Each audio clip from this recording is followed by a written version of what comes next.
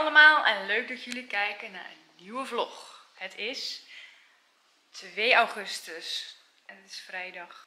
De week is weer voorbij. Nou, niet voor deze meid, want die moet morgen weer werken. Helaas. Helaas, pindakaas. We gaan naar de Nivo Huts. Daar zijn we alweer even niet geweest.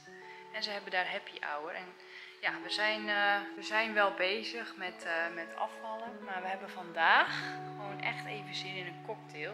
En ehm, we hebben al best wel lang denk ik, niet gedronken ook, toch? Dus ik neem jullie weer mee.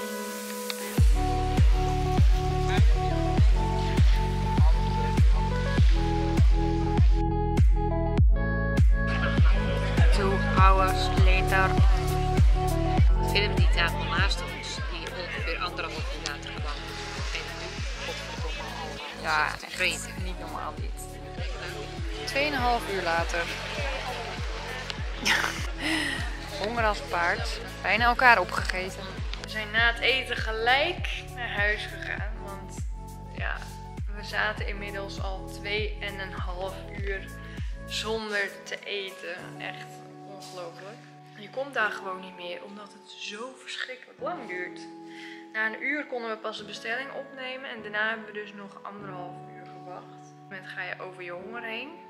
En dan komt er een periode waarin je echt chagrijnig wordt. En daar waren wij. Ja, weet je, dan loop je wel gewoon je voor je mis. Het is vandaag de volgende dag, zaterdag. Ik zit echt verknocht aan de tv, want ik ben de Olympische Spelen volop aan het volgen. Turnen vind ik super leuk om te kijken. En straks komt atletiek. Maar ik moet boodschappen doen, dus dat is een beetje jammer. Ik had een probeerseltje. Namelijk een mango pit. Heb je die ooit ontleed? Nou, die kan je dus openmaken en daar zit dan een pit in de pit. En ik heb allerlei methodes opgezocht op TikTok. Hoe je dan dat laat ontkiemen en dan uiteindelijk een mangoboom komt. Maar ik heb dus nu twee weken een pit in een vochtig keukenpapiertje gedaan. En donker bewaard. En hij zou dus nu ontkiemd moeten zijn, maar hij is, hij is helemaal beschimmeld. Kijk. Ja, echt heel vies. Dus ik gooi alles weg. En ik ga het gewoon nog een keer proberen, maar dan op een andere manier. Ja, we zitten weer bij Mosa. En we gaan hier eigenlijk nooit met z'n tweeën heen. Het is een beetje shared dining en wij kunnen nooit delen met elkaar, omdat we andere dingen lekker, lekker vinden.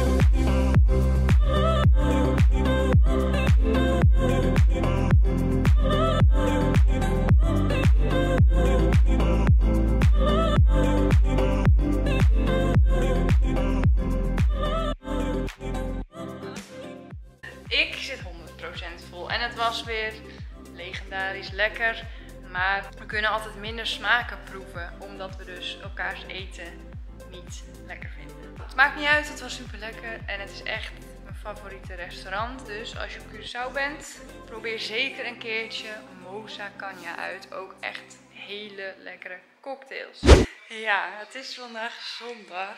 Het is Jan de enige vrije dag deze week. Dus wil graag in huis blijven. Nou, prima. We hebben de tv weer buiten gezet. Ehm, even een update over de wasmachine. Het is nu drie maanden geleden dat hij kapot is gegaan. En het onderdeel, dat zou ongeveer een maand geleden eh, uit Nederland zijn vertrokken.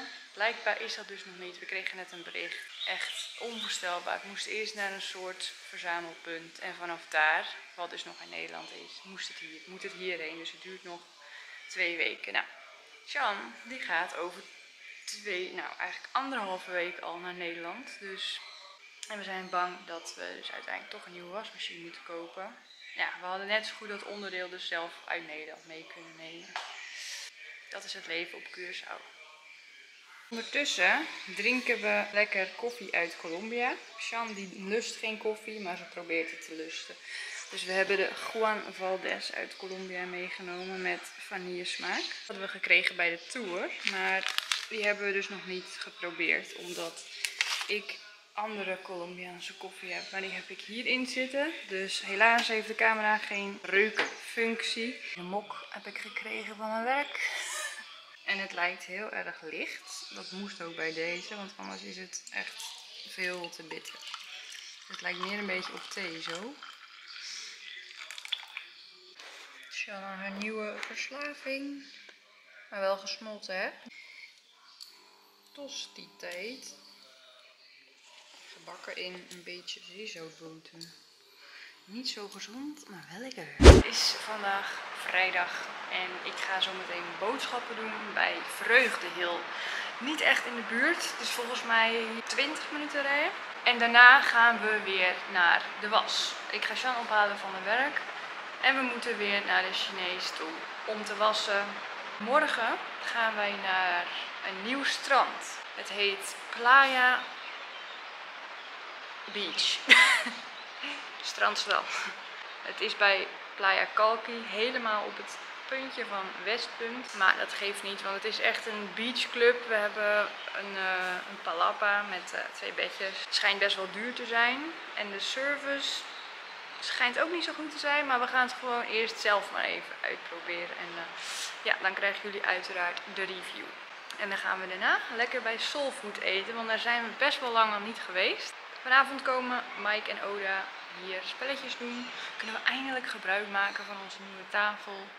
En ja, ik heb altijd gezegd, als mensen blijven eten, dan wil ik heel graag allemaal hapjes en, en dingetjes koken. Maar het is zo warm in huis. Het is echt niet leuk. Dus we hebben maar gewoon besloten om uh, patat te halen bij de smulkar bij Blue Bay. Kijk, ik ben heel blij met de waaier in de keuken. Uh, een tip als je op Curaçao komt wonen, neem een waaier in je keuken, want het is altijd super warm. Vooral als je bij de oven staat. En nou, we hebben ook airfryer, de kookplaat, alles is warm, warm, warm. Nou, de was hangt weer. Het is weer feest. En uiteindelijk was ik super lang onderweg naar Vreugdeel, omdat er dus wel heel veel file stond, zal weer wat gebeurd zijn. En de hele weg was dicht omdat ze asfalt gingen maken. En dan denk je, waarom doe je dat nou niet in de nacht? Want het was nogal een belangrijke weg. Nou, we zijn aangekomen bij de Beach Club. Helemaal aan het eind van Westpunt bij Playa Kalki. Gaan we eens lekker genieten vandaag.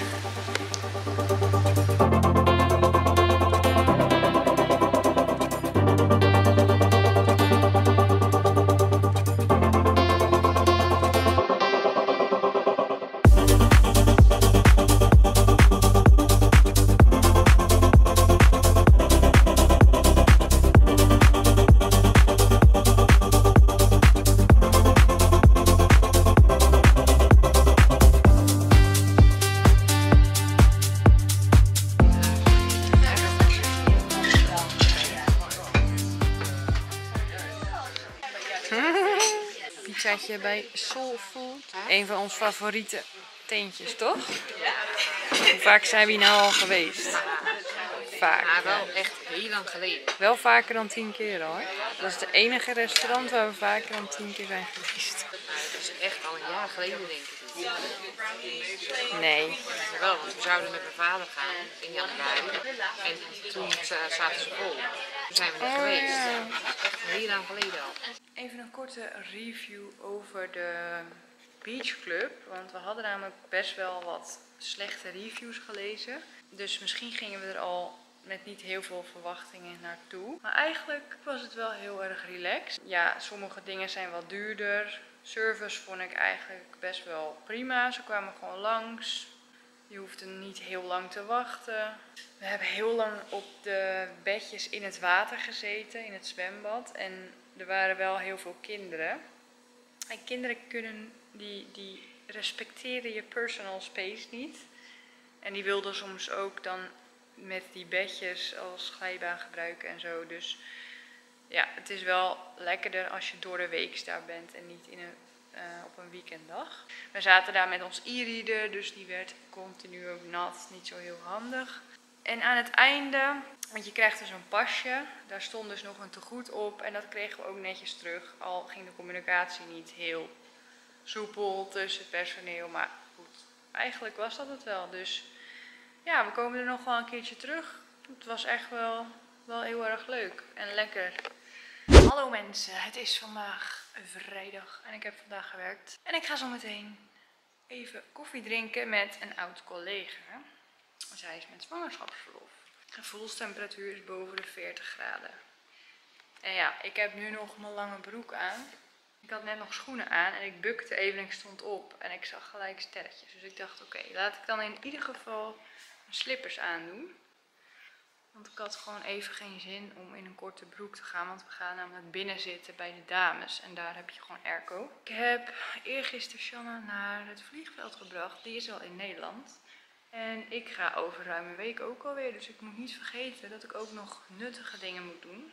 Oh mijn god, er vloog met een vogel in huis. En nu wil hij eruit in het keukenraam. En ik weet niet hoe ik hem moet helpen. Want ik vind het best wel eng. En hij heeft ook gekakt en alles omgegooid. Ja, ga naar buiten alsjeblieft. Ik heb het raam hier open gezet.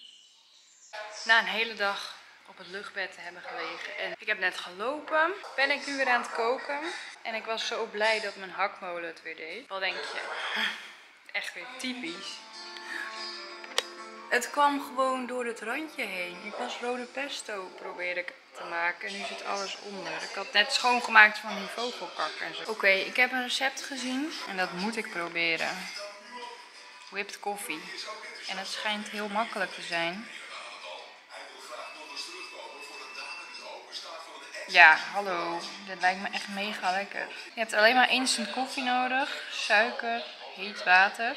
Alleen een grote zeef. Dus ja, weet niet of dit nou gaat werken. Maar... ik ben er al vijf minuten aan het... En het ziet er echt wel cool uit. Maar het is niet echt whipped. Al bijna, maar net niet.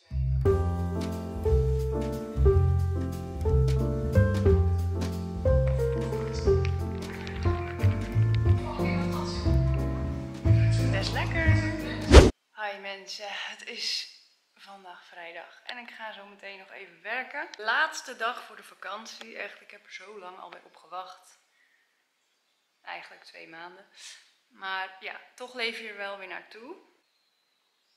Op mezelf scherp stellen.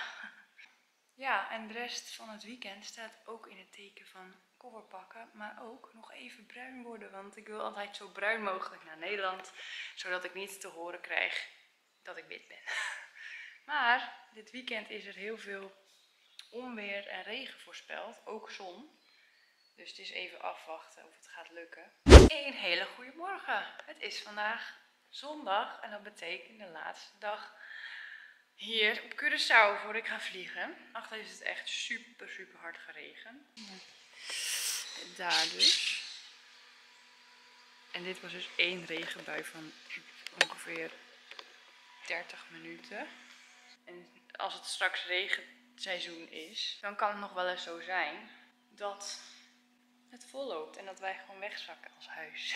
Oké, nou, de taak van vandaag is mijn koffer inpakken, want ik ben gisteren wel even begonnen met strijken. En ik heb letterlijk drie broeken ingepakt. En... Nou, van uh, bruin worden komt niks meer. Het gaat echt zo hoor. Net al onweer. Ik denk dat dit dan wel het laatste beetje is. Tenminste, ik kan niet eens goed. Ik kan mezelf niet eens verstaan, dan maak ik het al hard. Ja, het gaat weer gebeuren. Kijk, ik ga even inzoomen, ja. Zie daar? Het water keihard in die kuil stromen. Het komt ook daar vandaan. Oh mijn god, ik dacht ik ga nog heel even in het zwembad voordat ik moet gaan douchen en zo. Nog even een afscheidsduik. En toen kwam er een lucht aan en het ging zo hard tekeer.